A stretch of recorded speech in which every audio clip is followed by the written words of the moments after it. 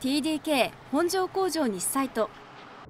世界30カ国250以上の拠点がある中で国内では最大規模を誇る開発製造の拠点です。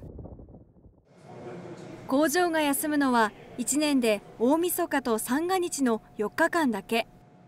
この場所でおよそ2000人の従業員が働いています。作っているのは電子部品のセラミックチップコンデンサ製造にはカセットテープの技術が応用されています。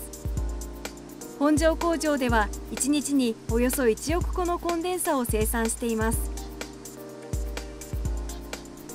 コンデンサは電気を蓄えたり安定して供給したりする部品でゲーム機やパソコンなどのほとんどの電化製品に使われています。チップの断面は電気を貯める誘電体操と内部電極が何層も積み重なった構造となっています。シート状に薄く伸ばした誘電体セラミックシートと金属ペーストの内部電極が100から1000層以上積み重ねられています。TDK 本庄工場はこのコンデンサの構造を表現して設計されています。チップコンデンサは小型化と大容量化のトレンドに伴いこの40年で体積は500分の1になりました。小さいものでは長さ 0.4mm 幅 0.2mm と砂粒ほどの大きさです。こうしたチップがスマートフォンで800個から1000個ノートパソコンでは1000個使われています。自動車には3000個から6000個が搭載されています。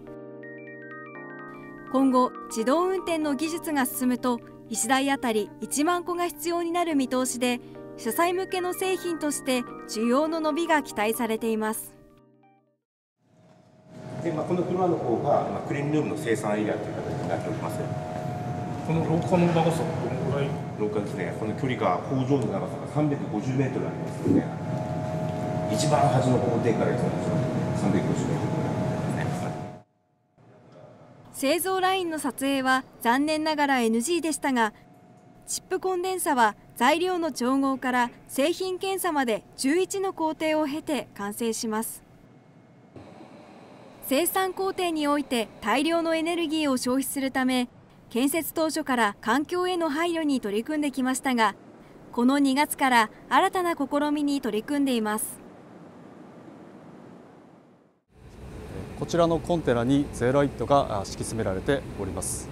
えー、工場から出る約80度の排熱を、使用し乾燥をさせます。その後トラックで輸送し、えー、本熱サイトの方に移動します。セラミックシートを乾燥する際燃焼装置から出る熱はこれまでそのまま捨てられていました。しかし工場から排出される熱を蓄熱材に貯めて有効利用しようというシステムを国内で初めて実用化しました。排気される熱の温度はおよそ80度。コンテナの中には熱を吸収して放出する機能を持つゼオライトが敷き詰められています。この蓄熱材が廃棄される熱を11時間ほど蓄えます。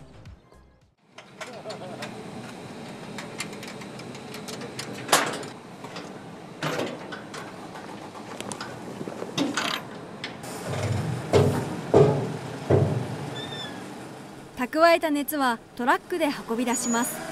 本庄工場では近接する放熱サイトまで運搬しクリーンルームの空調設備に利用しています。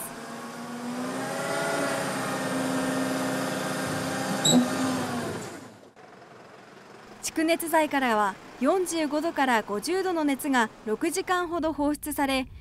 削減できる CO2 の量は年間249トン。本庄工場にサイトが排出する CO2 のおよそ5%にあたります。また都市ガスの使用量も減らすことができ年間およそ1000万円の光熱費を圧縮できる計算です。今後としましては、えー、郊外利用として温水プールや温室栽培のニーズがあれば、えー、非常に幸いです。TDK として脱炭素化や、地域社会貢献に貢献できればと考えております。